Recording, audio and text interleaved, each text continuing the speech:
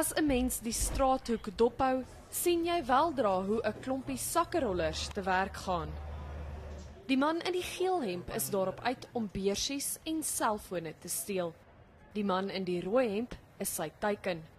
Dit lyk asof hulle 'n vriendelike gesprek voer, maar dis als deel van die plan om 'n selfoon te steel.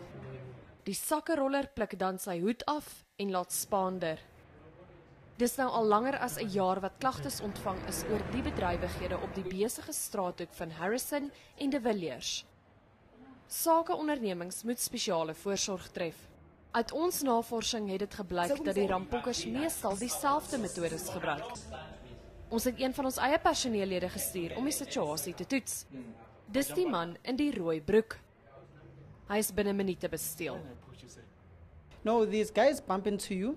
One, after they bump into you, they ask you, "How? Why are you bumping into me?" Then they say, "If I was a violent person, I would be hurting you right now. This is what I'd be doing.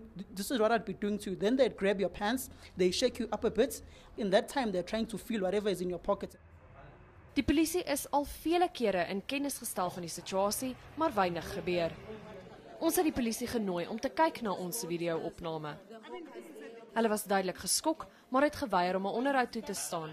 Hulle wil eers die situasie ondersoek en later praat.